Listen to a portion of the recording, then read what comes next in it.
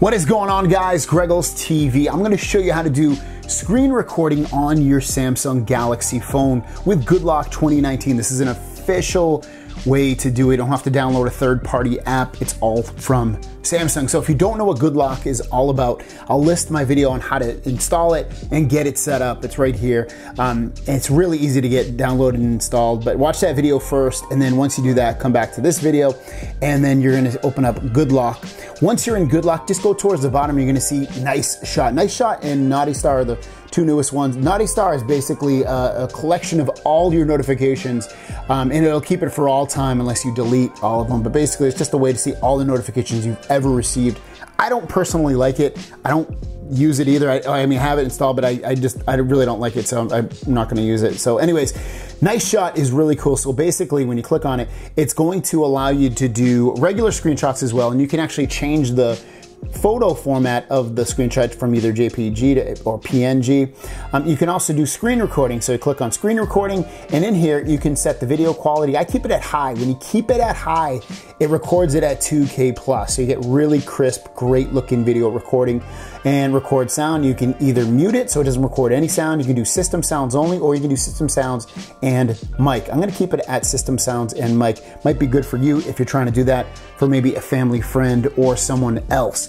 Once you've done that, it's really easy to get started. And all you gotta do, and you can do this from any screen that you have on your phone, you're just gonna press one finger on the power button and one on the volume down at the same time. So I'll press it down, and then you'll see a video record icon right here. Make sure you tap it pretty quick because it'll automatically start uh, when you press it. If you miss it, you wait a couple seconds, it'll just make it a regular photo screenshot. Now you do have this little icon here. It's gonna allow you to you know, stop the video or press the little thing next to it and you can draw on the screen if you want. Or maybe you want it to be a little bit bigger or whatever. You can do that. The, or you can stop it, like I said. and You can move that kind of wherever you want. the other cool thing about this is you can stop it when you slide down from the top here you can just hit uh, tap here to stop recording. So you have two places to stop it. But regardless of what you're doing, it'll let you record pretty much anything. If you wanted to record a video, have it be on YouTube or any other service, it will do that for you. You can record it. Or if you just want to show someone a walkthrough, maybe like how to use the Google Play Store or something like I know a lot of my uh, older family members um, don't know how to use the Google Play Store, and this is a great way to show them how to do it with a video. Um, so it's just an easy, simple way. So there's tons of reasons why you might want to do this. Maybe you want to record a video of whatever it may be. Maybe you want to record your Instagram timeline, or uh, I, there's many reasons you might want to do it. I, it. It's just a cool way to do it, and you can share these videos. So once you're done, you can either hit stop right there where I moved it, or I can swipe down from the top. I think this is probably the easier one.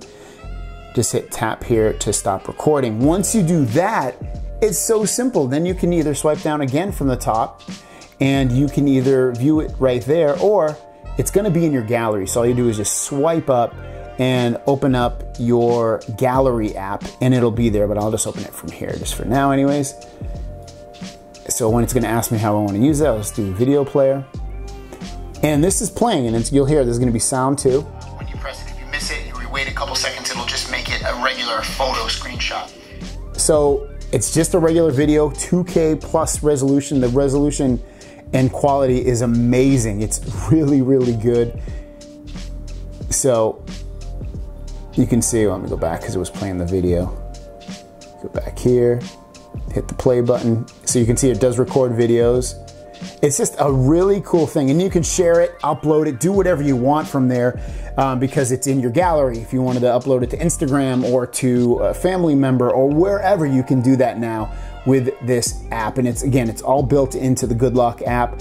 I have a link down below if you're not familiar with GoodLock, but it's just they keep adding more and more things to GoodLock. It's been a crazy look how, look how many things are in here. There's so many customizations and utilities in here that make uh, this app even more functional and, and, another great reason to pick up a Samsung phone because it, they, they're just blowing the market away with different features on this phone. So thanks for watching guys. Don't forget to subscribe new videos every single day. I'll see you down the road. And actually let me know if you've used this feature and what you've recorded. Let people know. Maybe they can get some ideas of what to use the tool with. We'll see you down the road. Peace!